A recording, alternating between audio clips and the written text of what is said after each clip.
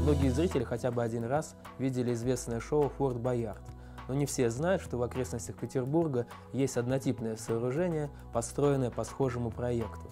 Форт Император Александр I – это одно из красивейших сооружений не только Петербурга, но и, пожалуй, всей России. Оно производит впечатление своей мощью, потому что построено непосильным трудом в невозможном месте. Форт был построен в период с 1838 по 1845 года. Его задачей был контроль над южным фарватером Кронштадта. Благодаря своей мощи и перекрестному огню с соседними фортами Петр I, Павел I и Кроншот морские ворота Санкт-Петербурга были надежно закрыты. Форт имеет размеры 90 на 60 метров, и на его четырех ярусах размещено 137 орудий, благодаря которому можно вести круговую оборону. Форма баба была выбрана не случайно, благодаря ей можно снизить рикошеты от круглых ядер и таким образом повысить живучесть сооружений. Для постройки форта потребовалось вбить более 5000 12-метровых свай, пространство между которыми было заполнено специальным бетоном, и на этом надежном основании были сооружены стены и перекрытия.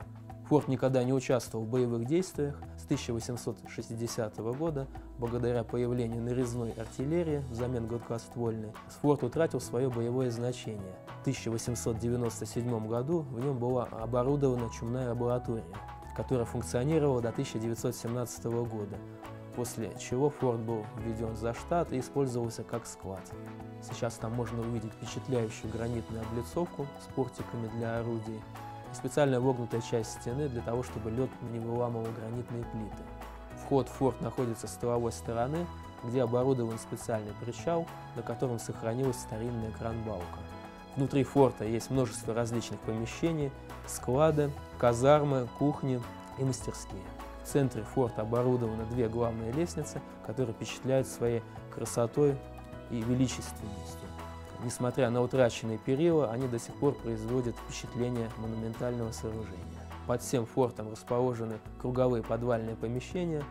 Если в них хорошо поискать, то там можно обнаружить старинную тележку для перевозки грузов. Наверху форта раньше была оборудована деревянная палуба, от которой сейчас сохранились бетонные подпорки. К сожалению, форт находится в запущенном состоянии и закрыт для посетителей. Но, тем не менее, в него организовываются регулярные экскурсии. Летом туда можно попасть на экскурсионном кораблике, а зимой пешком по льду. Выход на лед зимой опасен, а идти до форта полтора километра.